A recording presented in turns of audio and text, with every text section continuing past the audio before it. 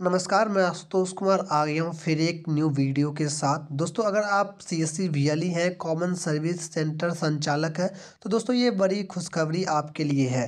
दोस्तों, ये खुशखबरी आपके लिए नहीं है, आपके ऑपरेटर के लिए है। वो भी अब जो है डी पे का यूज़ कर सकते हैं। हाँ दोस्तों अब जो आपका सी एस सी का जो ऑपरेटर होता है, वो भी आप डी पे का यूज़ कर सकते हैं। बहुत बार दोस्तों ऐसा होता था कि सी एस सी जो है कहीं बाहर चल जाते थे।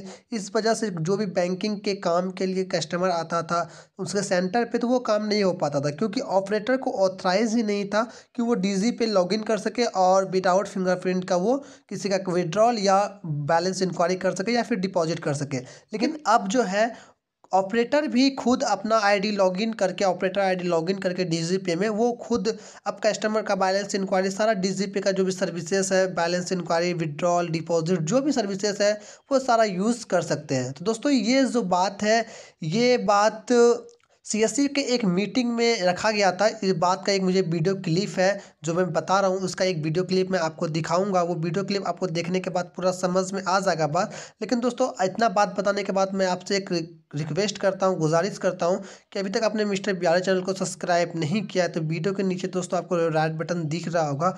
उसे दबा के सब्सक्राइब कर ले। साथ ही साथ दोस्तों बेल आइकन को भी ज़रूर प्रेस कीजिएगा हमारे लेटेस्ट वीडियो को सबसे पहले पाने के लिए। और दोस्तों, जहाँ तक की बात कर ले, ये सर्विस जो थी सी में आखिर ज़रूरी ही थी क्योंकि ऑपरेटर को डी में लॉगिन नहीं मिल पा रहा था। इस वजह से वो डी का काम नहीं कर पाता। लेकिन अब दोस्तों ऐसा नहीं है। अब डी में भी लॉगिन करके ऑपरेटर यूज़ कर सकते हैं। सिर्फ़ अपना उसका जो ऑपरेटर आईडी है बस सी एस की जगह पे जो वी एल अपना डालता था, वहाँ पे उसको अपना आई डी डाल करके सिंपली लॉगिन कर लेना है।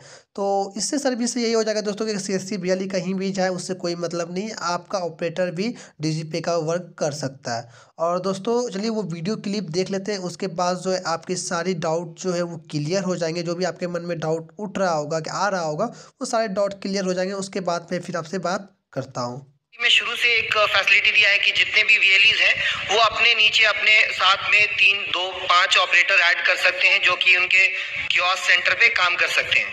सो so, उसी तरह से सीएससी के जो वीएलईज हैं जिनके पास दो तीन ऑपरेटर हैं जिन्होंने प्लान करके रखा है कि हाँ मेरा एक काउंटर है वो डीजीपे का काम करेगा दूसरा काउंटर है हो सकता है वो बैंकिंग का करे या फिर कोई ट्रैवल करे।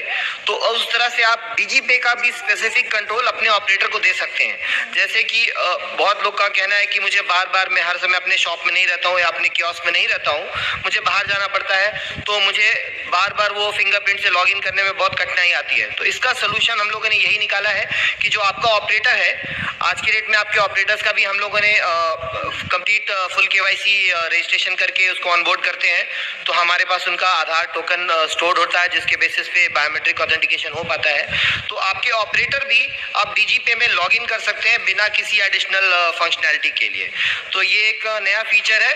जो बहुत आपको हेल्प जैसा कि दोस्तों आपको वीडियो क्लिप देख करके समझ में आ गया होगा कि इस वीडियो क्लिप में साफ़ साफ़ बताया जा रहा है कि डीजीपी का यूजेस जो है, अब वो ऑपरेटर भी कर सकते हैं। और यही बात मैंने शुरू से लास्ट तक भी बताया है। तो देखते हैं ये अपडेट जो है कब तक आ जाती है डीजी पे में। ऑपरेटर आईडी जो है लॉगिन होता है। जैसे ही दोस्तों ऑपरेटर आईडी लॉगिन होना स्टार्ट हो जाएगा तो आपको मिस्टर बिहारी चैनल पे, इस चैनल पे जो है आपको वीडियो अपडेट मिल जाएँगे। तो इसलिए ये चैनल को आपको सब्सक्राइब करके रख लेना चाहिए। तो ठीक है दोस्तों मिलते हैं नेक्स्ट वीडियो में तब तक के लिए जय हिंद जय